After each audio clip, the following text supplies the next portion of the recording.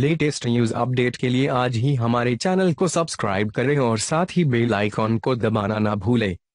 Big boss 11 के contestant आकाश ददलानी की एक बार फिर शो में प्रियंक शर्मा से लड़ाई हो गई। दोनों न सिर्फ़ अतुतु, मैं मैं करते देखे, बल्कि इनके बीच बात हाथापाई तक भी पहुँच गई। हालाँकि बाकी कंटेस्टेंट्स ने बीच बचाव कर इन्हें शांत किया। बता दें, प्रियंक शुरुआत में आकाश पर हाथ उठा चुके हैं, इसकी वजह से उन्हें शो से भी बाहर निकाल दिया गया था। आकाश को लेकर हाल ही में खबरें आई हैं कि उन्हें कभी कॉलेज से निकाल दिया गया था। दरअसल कुछ टाइम पहले आकाश साउथ मुंबई के एक कॉलेज से स्टूडेंट एक्सचेंज प्रोग्राम में तहत कुछ महीनों का डिप्लोमा कोर्स करने मुंबई आए थे। यहाँ हुए इंटर कॉलेज टूर्नामेंट में आकाश शराब के नशे में घुट पाए गए थे, जिसके बाद उन्हें कॉलेज से निकाल दिया गया था।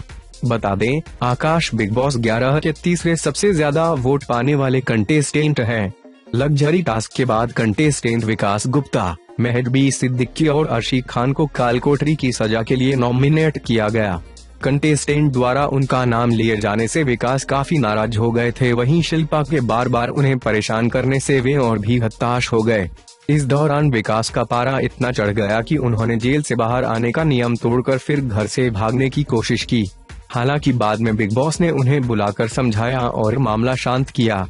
बता दें, पहले भी विकास घर के दरवाजे से बाहर निकल गए थे, लेकिन उन्हें वापस लाया गया था।